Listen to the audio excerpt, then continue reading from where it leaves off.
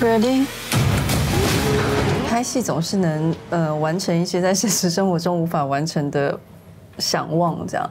但是我们其实都在非常安全的环境里完成这些车戏，尤其是谢谢卢贝松先生提供了一位呃法国籍的车技指导。时就爱开车的桂纶镁，这回在卢贝松监制的新电影中《Dream Come True》在台北市中心高速狂飙，超过瘾。而她这回饰演富太太，演老公的人来头不小。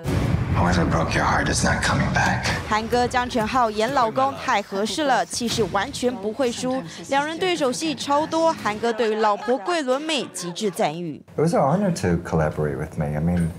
May is such a talented, world-class actress. Her energy and her passion for the work, you know, when she comes to set, you know, it just elevates everybody else. And getting to know her as a human being, as a person, you realize why everyone loves me.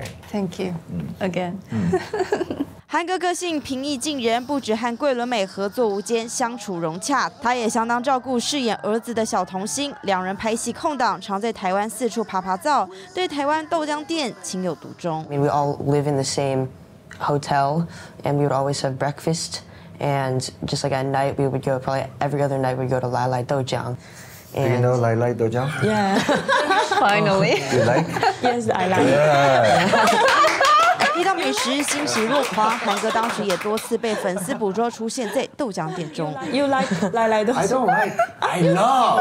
韩哥这次更透露来台学做小笼包，认为自己的手艺高超，甚至可以到鼎泰丰上班。看来韩哥相当满意在台湾拍片的日子。进新闻曹赞徐伟成陈报道。立刻下载静新闻 App，一手掌握新闻时事，尽善尽美，尽好新闻。